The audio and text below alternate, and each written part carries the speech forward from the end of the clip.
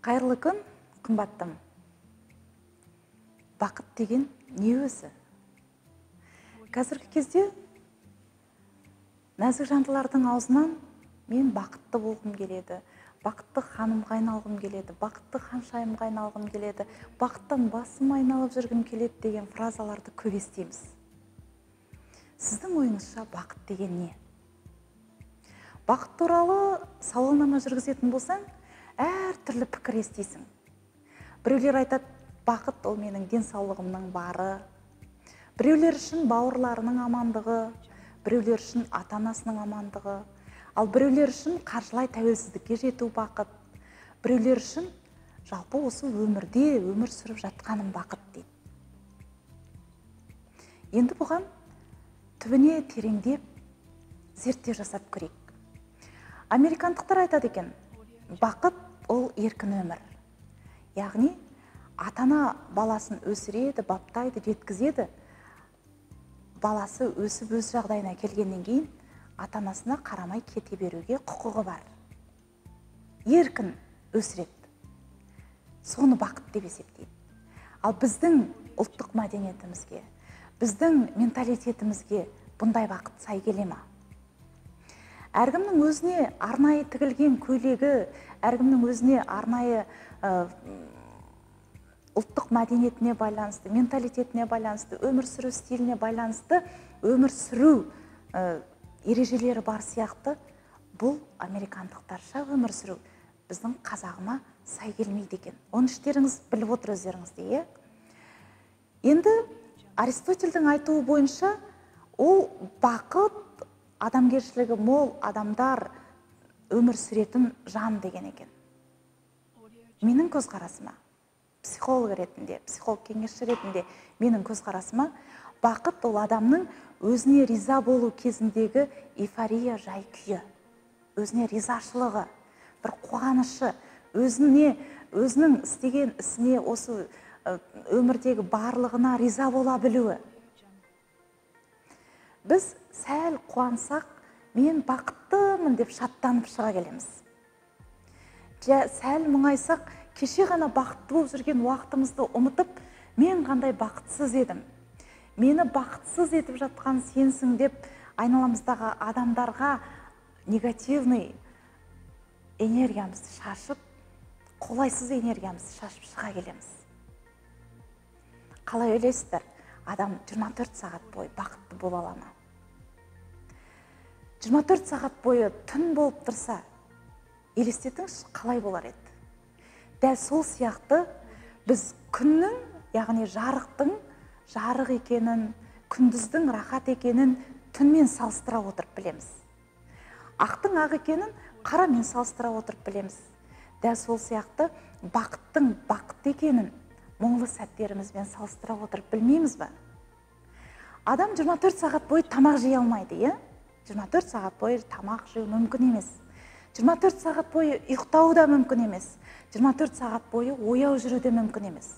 дәл солай адам егер 24 сағат бойы бақытты болса бақыттың қадірін қасиетін білмес еді. бақытты қадірлей білу үшін мұңлы сәттердің болып тұрғаны ол қалыпты жағдай. Енді қыздар мұңлы сәттер келген кезде өмірді бақытты сәттерімен де мұңлы сәттерімен де қосып қабылдап енді бақытсызбын деген сөзді санаңызға кіргізбеңіз. Бақытты сәттер күннен кейін түн келетін сияқты түннен кейін қайтадан таң атып ә, күн шығатын сияқты бақытты сәттеріңізді мұңлы сәттер ауыстырса одан кейін тағы да бақытты күннің таңы ататынын ұмытпаңыз. Бақытты ханымға айналу үшін не істеу керек? Ең бірінші ішкі құндылығыңызды дамытыңыз ішкі құндылық деген не? Өкінішке орай қазіргі ханымдардың болсын ханшайымдардың болсын ішкі құндылықтары ішкі әлемі басқа бір әлемде жүреді. Мысалы біреулер өздеріне хобби жасап алған телесериал көруді. Біреулер ана құрбысының әлемінде жүреді. Анау жігітімен ұрысып қалып еді мынау күйеуімен ұрысып қалып еді ана енесі тиісіп жүреді не болды екен не болды екен деп ана құрбысының әлемінде жүреді. Өзінің әлемін ұмытады. Ал ішкі құндылықты дамыту ол яғни сіздің өзіңіздің жан дүниеңіз жүрегіңіз не қалайды сонымен айналысу. Ішкі құндылықтарыңызды дамытыңыз. Бала кезіңіздегі арманыңызды есіңізге түсіріңіз. Сіз не істегенді жақсы көруші едіңіз. Қандай істен ләззат алушы едіңіз? Соны бүгіннен бастап қолыңызға алыңыз. Ішкі құндылығыңызды дамыту ол мүмкін сіздің үйдегі ас үйіңізде әдемі дәмді бәліштер дәмді тәтті нандар дәмді тағамдар пісіру болса соны бүгіннен бастап қолыңызға алыңыз. Ішкі құндылықпен құндылығын дамытқан адам біреудің өміріне араласпайды. Ана құрбының өмірі не болып жатыр мына құрбының өмірі не болып жатыр? Тіпті одан қалса ана саясатқа кіріп өзгерту өзіңізден қолың, өзіңіздің қолыңыздан келмейтін нәрселерге араласып кетпейсіз. Екіншіден үнемі күліп жүріңіз. Күліп жүріңіз күліп жүріңіз деп мен көп айтамын. Ақыл кеңеске келген адамдарға да семинарлар өткізгенде тіпті ана ютуб каналымдағы видеороликтарымда күліп жүріңіз деймін. Сондағы жазып қойған комментарийларда мен күліп жүрсем адамдар өздерінің пайдасына пайдаланып кетпей ма деген комментарийларды көремін. Тереңінен ойлаңыз. Күліп жүргенде өзіңізді біреуге пайдаландыру үшін емес адамдарға шуақ сыйлау үшін жылу сыйлау үшін. Біреуді пайдаландырып қоятын сіз ақымақ адам емессіз ғой. Жылу сыйлап айналаңызға тек қана оң энергия позитивный энергия сыйлап жүру үшін жымиып күліп тұрыңыз деймін. Айналаңыздағы адамдарды қабылдаңыз. Олар қандай бар солай қабылдаңыз. Көбінесе естимін осы екі баламның әкесі сол үшін шыдап жүрмін. Менің сүйікті жарымның ата анасы сол үшін шыдап жүрмін. Осы шыдап жүрмін деген сөздің өзі адамның жүрегіне бір ине қадап алған сияқты әсер қалдырады. Айналаңызды қандай бар солай қабылдаңыз. Әлемді өзгертуге тырыспаңыз өзіңіз өзгеріңіз. Әлемдегі сізге ұнамайтын тұстардың бәріне көзқарасыңызды пікіріңізді өзгертіңіз. Олардың жақсы жағын көріп өзіңізге қабылдай бастаңыз. Әлемдегі ситуацияларда әлемдегі заттарда құбылыстарда адамдарда өте көп. Олардың бәрін өзгерту мүмкін емес. Сіз өзіңізді өзгертуді бастағанда өзіңізге қарай қадам бастағанда өзіңізді жақсы көре бастаған кезде бүкіл әлем сізге бұрыла бастайды. Өз өміріңіз өзіңіздің қолыңызда екенін ұмытпаңыз. Бақытты болу үшін адам бүкіл мына әлемді сезіну тұстары. Адам әлемді бірінші тәнімен сезінеді. Одан кейін санасымен яғни ақылымен сезінеді сосын жүрегімен жанымен сезінеді.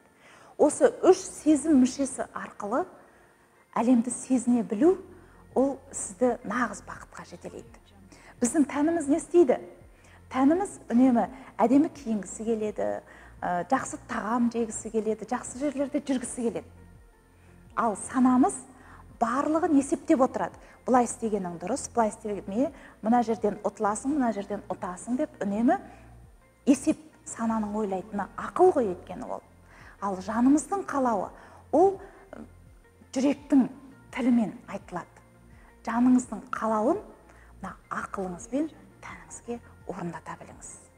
Жан қалауымен өмір сүрген адам өмірдің тәттілігінде ғажаптығында осы жаратушының жаратқан бір ғана экземпляр ғажайып екеніңізді сезіну сіздің жүрегіңіздің қалауын орындау жүректің қалауын ақылға орындатуды ұмытпаңыз. Мұхтар әуезов айтқан екен мына халыққа адамшылықтың бақытты күні күліп қарау үшін әйелдің басындағы сасық тұманды айықтыру керек деп. Яғни әйелдің басындағы сасық тұман айықпайынша халыққа бақытты күн күліп қарамайды. Әйел тәрбиесі қыз тәрбиесі ол ұлт тәрбиесі екенін ұмытпайық. Сіздермен бірге болған психолог кеңесші калиева құралай ютуб каналыма жазылыңыздар менің кайдзен академиямның бақытты леди курсына қатысыңыздар.